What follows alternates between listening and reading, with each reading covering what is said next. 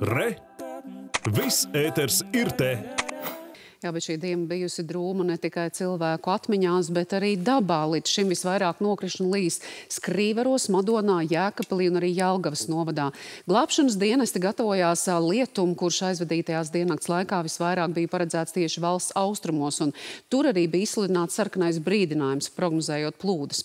No Madonas puses tiešraidējums pievienojas arī mūsu korespondente Dinija Emeļānava. Sveika, Dinija! Redzams, ka kur tu atrodies šobrīd lietus joprojām turpinās, un kāda ir situācija kopumā Latvijas austrumos šodien, tagad pēcpusdienā, pievakarē, un vai lietus tiešām ir jau paspējis radīt tādus postījumus, par kuriem mēs eh, tiešām arī visi tikām brīdināti? Jā, sveiki, Ilzi skatītāji! Šodien atrodos Madonas novada Barkavas pagastā, un, kā redzams, lietus turpina līt.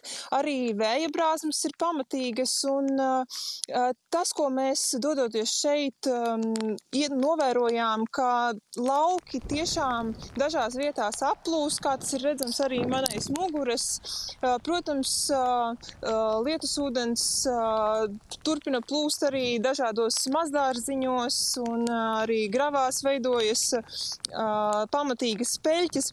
Taču jāatzīmē, ka kopumā valsts ugunsdzēsības un glābšanas dienas ziņo, ka šodien nav saņēmuši nevienu um, palīgā saucienu pie cilvēkiem, kas nonākuši uh, briesmās vai kā citādi plūdu radīto apstākļu dēļ.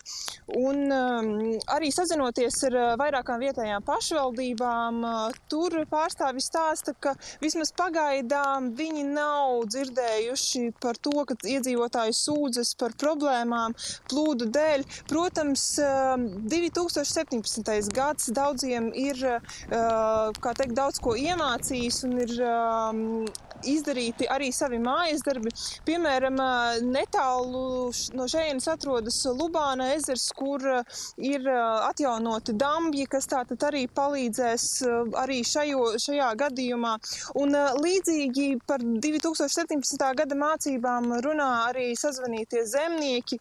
Mm, ir, ir, protams, veikti dažādi meliorācijas darbi tur, kur tiešām bija saprasts, ka tas ir jādara šādās situācijās, kad, ka tiešām lietus ir pamatīgs. Eh, taču kopumā arī no Ziemeļlatgales, kurš arī turpmāk vēl šo vakaru sola arī lielu lietu, arī no turienes ziņu nepatīkumu pagaidām vēl nav, un visi šobrīd atrodas tiešām gaidīšanas režīmā, un droši vien arī vēl nākošais rīts eh, ne, nesīs savus secinājumus, un tad nu par tiem arī turpināsim ziņot un stāstīt. Ilze?